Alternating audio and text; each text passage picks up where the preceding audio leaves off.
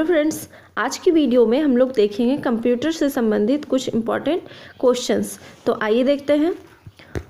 पहला सवाल है आपका कि निम्न में से कौन सिस्टम सॉफ्टवेयर का उदाहरण है? सिस्टम सॉफ्टवेयर का एग्ज़ाम्पल चार ऑप्शन आपके दे रखे हैं तो इनमें से आपको बताना है कि सिस्टम सॉफ्टवेयर का उदाहरण इनमें से कौन है? तो हमारा आंसर हो जाएगा इसमें यूनिक्स यूनिक्स जो है एक सिस्टम सॉफ्टवेयर है, ये चीज़ हमेशा याद रखें ओके नेक्स्ट क्वेश्चन है कि विज्ञापन उपलब्ध करने वाला ओके? सॉफ्टवेयर पैकेज क्या कहलाता है? विज्ञापन जो कि मतलब कि ऐड जिसे बोलते हैं हम लोग, कि विज्ञापन उपलब्ध कराने वाला सॉफ्टवेयर पैकेज क्या कहलाता है? तो उसे हम लोग कहते हैं एडवेयर, ओके? कि विज्ञापन उपलब्ध कराने वाला सॉफ्टवेयर पैकेज जो है एडवेयर कहलाता है। नेक्स्ट क्वेश्चन है कि माउस ट्रैक बॉल जॉयस्टिक निम्न में से किसका उदाहरण है? चार ऑप्शन दिए गए हैं। तो इसका आंसर हो जाएगा इसमें पॉइंटिंग डिवाइस ठीक है? माउस ट्रैक बॉल और जॉय स्टिक जो है पॉइंटिंग डिवाइस होगा। हालाँकि इसमें से जान लीजिए कि ये सामान्यतः एक इनपुट डिवाइस है। लेकिन इसका उपयोग हम लोग कहाँ करते हैं? तो स्क्रीन पर कोई भी कंटेंट जो दिया रहता है, उसे पॉइंट करने के लिए हम लोग इसका यूज़ करते हैं। इसीलिए हम लोग इसे पॉइंटिंग डिवाइस भी कहते हैं। और ऐसे याद रखिए, ये सब हमारे क्या है? इनपुट डिवाइस है। नेक्स्ट है आपके कि किसी नेटवर्क पर कंप्यूटर का पता क्या कहलाता है? तो कंप्यूटर का पता कहलाता है आपका IP option number D IP address का पूरा नाम लोग क्या है? तो इंटरनेट प्रोटोकॉल एड्रेस, ओके? यह एड्रेस जो है किसी भी नेटवर्क पर कंप्यूटर का पता लगाने के लिए होता है और यह एड्रेस जो है द्विआधारी पद्धति जो कि बाइनरी होती है, उसमें बत्तीस बीट का यह होता है। नेक्स्ट क्वेश्चन है कि कॉपी करने के लिए, कॉपी करने के लिए कौन सी शॉर्टकट की है? तो यानी कि कॉपी हो पेस्ट हो, इन सब के लिए अगर हम कोई शॉर्ट की अपनाना चाहे तो इनमें से कौन की, कौन सा की हम लोग अपना सकते हैं। तो कंट्रोल प्लस सी अगर हम करते हैं तो हमारा जो भी फ़ाइल रहता है, जो भी चीज़ें हमें कॉपी करनी रहती है तो वो कॉपी हो जाती है कंट्रोल प्लस सी दबाने से ओके ऑप्शन नंबर बी हो जाएगा इसका आंसर नेक्स्ट क्वेश्चन है कि एक एकीकृत पथ आईसी चिप किसका बना होता है? ओके? एक एकीकृत पथ जो है चिप किसका बना होता है? यानी आईसी चिप जो है किसका बना होता है? तो ये बना होता है सिलिकन का। Option number C next question है कि इंटरनेट पर नो चार्ज में सामान्यतः परिचित सॉफ्टवेयर बग की मरम्मत डैश कहलाती है। तो ये कहलाती है पैच। ऑप्शन नंबर बी किसी भी सॉफ्टवेयर के रिलीज़ होने के बाद उसमें से जो त्रुटि पाई जाती है उन्हें जो है तत्काल निदान के लिए प्रयोक्ताओं को पैच के माध्यम से उसका समाधान उपलब्ध कराया जाता है, ओके? नेक्स्ट क्वेश्चन है कि एक्सेल में कोई भी फॉर्मूला सदैव निम्न से प्रारंभ होता है कि जब हम लोग एक्सेल पे वर्क करते हैं तो कोई भी फॉर्मूला टाइप करने से पहले इनमें से कौन सा हम लोग सबसे फ़र्स्ट में टाइप करते हैं? तो सबसे फ़र्स्ट में टाइप करते हैं हम लोग equal to, option number C. Next question है कि निम्न में से कौन सी कंप्यूटर की अस्थायी मेमोरी है? रैम, रोम, फ्लॉपी या हार्ड डिस्क? तो आंसर हो जाएगा हमारा RAM. Option number A, RAM जो है अस्थायी मेमोरी है। यानी कि जब तक आप वर्क कर रहे हैं और अगर आप उसे सेव करके नहीं रखते हैं तो अगर लाइट कट जाएगी तो वो आपका ख़त्म हो जाता है। ओके?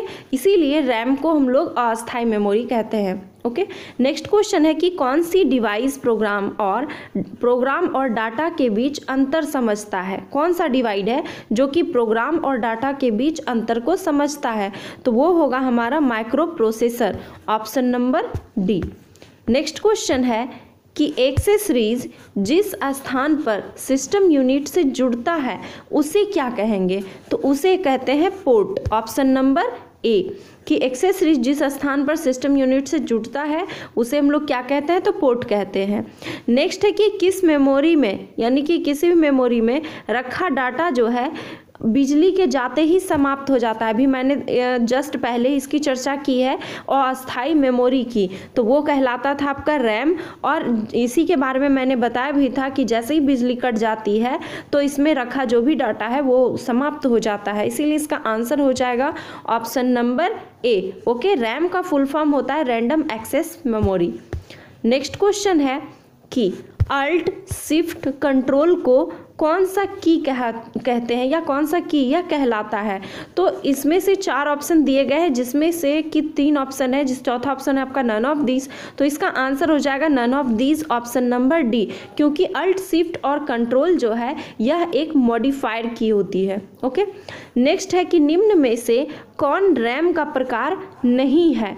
तो रैम का प्रकार नहीं होगा तो ये होगा P RAM okay option number A next होगा आपका कि सी एक डैश स्तरीय प्रोग्रामिंग लैंग्वेज है। सी एक लैंग्वेज है तो इसमें जो है यह कैसा मतलब कि प्रोग्रामिंग लैंग्वेज है ये?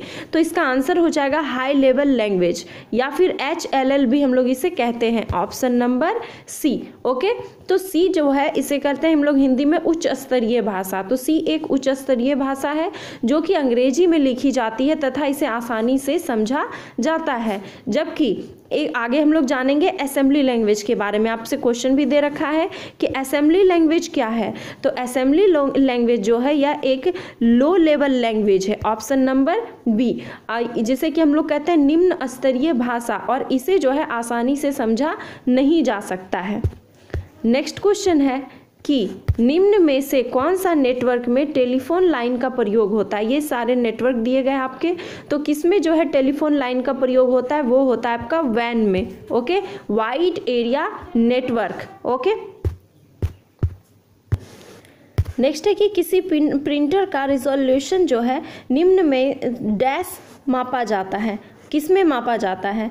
तो किसी भी प्रिंटर का रेजोल्यूशन जो होता है, वह मापा जाता है आपका डॉट्स पर इंच यानी कि जिसे हम लोग कहते हैं डीपीआई ऑप्शन नंबर है आपका सी नेक्स्ट है आपका कि निम्न में कौन इनपुट डिवाइस और आउटपुट डिवाइस दोनों ही है आपका। तो इनपुट और आउटपुट जो दोनों है, वह है आपका modem option number D next है कि सबसे ज़्यादा प्रयोग में आने वाली पॉइंटिंग डिवाइस कौन सी है? पॉइंटिंग डिवाइस के बारे में पहले ही बताया मैंने। तो उसमें से कहता है, सबसे ज़्यादा ये सारे के सारे आपके पॉइंटिंग डिवाइस है तो इसमें से मतलब कि कौन है जो कि सबसे ज़्यादा यूज़ होता है? तो सबसे ज़्यादा यूज़ होने वाला कौन सा है आपका? Mouse. Option number C. Next है कि एलसीडी का पूरा नाम क्या है? तो एलसीडी का पूरा नाम जो है, वह है आपका liquid crystal display option number D next question है आपका कि निम्न में से कौन सा इमेज फ़ाइल एक्सटेंशन नहीं है? क्वेश्चन है आपका कि इनमें से जो है कौन सा इमेज फ़ाइल एक्सटेंशन नहीं है? तो इसका आंसर हो जाएगा option number C web W A V इसका फुल फॉर्म होता है आपका कि wave audio file format okay तो इसका आंसर हो जाएगा option number C web next question की ओर चलते हैं हम लोग. नेक्स्ट है कि कंप्यूटर मेमोरी की सबसे बड़ी इकाई कौन सी है? तो कंप्यूटर मेमोरी की सबसे बड़ी इकाई जो है, वह होगी टीबी यानी कि terabyte option number A. Next है कि निम्न में से कौन इंटरनेट में प्रयुक्त होने वाली एक भाषा है? यानी कि इन चारों ऑप्शन में कौन सा है ऑप्शन जो कि इंटरनेट में प्रयुक्त होने वाली एक लैंग्वेज है, एक भाषा है? तो इसका आंसर हो जाएगा Java, option number B.